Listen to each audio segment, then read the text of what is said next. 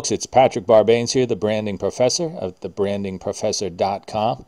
And I want to take a quick couple minutes here to show you how to get the new Facebook profile and, and why you should. And a really cool profile trick that some people are doing. Um, and I want to give a hat tip here to uh, Christine Pilch on Twitter, who reminded me that even if you haven't changed your profile yet, as I haven't, and I'm going to do it live right here as you're watching, if you haven't changed your profile yet, People who have changed to the new profile are seeing your profile in the new version. It's kind of interesting, huh? So in other words, here's my profile, and it's still in the old version.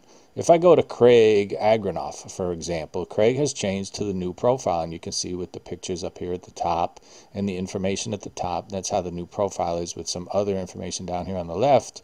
He's seeing my profile when he goes to it in the new format and I don't even know what he's seeing. So that's why I'm recommending that you do it, and that's why I'm going to do it because I want to be in control of what people are seeing. And more and more people, of course, are switching to the new profile, and pretty soon I'm sure the new profile will be the only thing that you'll be able to do. So you might as well do it now and get in control of how it looks. Now, to do that, you're going to have to go to this URL here, this web address, facebook.com slash about slash profile.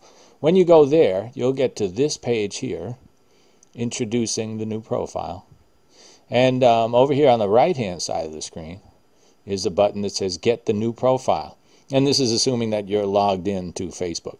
So I'm going to do this. I'm going to do this live. I'm going to see how this looks um, right now. So here goes. And then I'm going to show you a cool trick that some people are doing.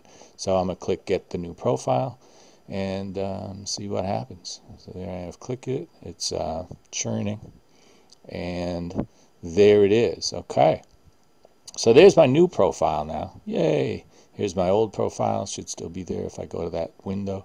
Go over here to the new profile, and it's got the five most recently tagged pictures or photos, right, that uh, tagged of me. But here's what some people are doing. They're doing some pretty creative things. Look at this one.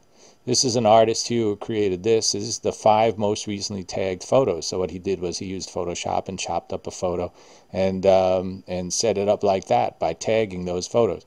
And uh, I'll show you another example right here. It's coming up in a moment. Should be.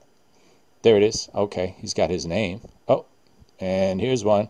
Um, walking the dogs over to the house. That's kind of cute. And let's see what the next one is. Um, it's coming up in a moment. I'm sure it is. I clicked the button. There it is. Okay, I don't know exactly. Okay, that's a interesting face, kind of boring to me, but there it is. So that's an example. I think there's one more example here that I'll show you. And um, it's a man here, Nicholas, uh, pointing at these mountains. These are the five most recent photos, most recently tagged photos with his name in it. Now, of course, what happens if someone else tags a photo after that? It'll show up because it's going to show up here in the new profile with the five most recently tagged photos. But there'll be a little X up here in the right hand side. In fact, let's go to the back here. Let's go back to my profile. And there should be an X. There it is. It's very small. You can hardly see it. In the upper right hand corner of a photo, if I click that photo, it won't untag it, but it'll remove it from the display of the five most uh, uh, the five most recently tagged photos. Get a message, are you sure you want to hide this photo? I'm going to say yes, hide that photo and away it goes, replaced by a new photo. That's me at the Toys for Tweets um, tweet up that was held by uh, by the American by the Association for Women in Communications. So that's how you do it. It's a really cool trick, and um, hope you like that uh, tutorial. And I will see you on the other side. Bye.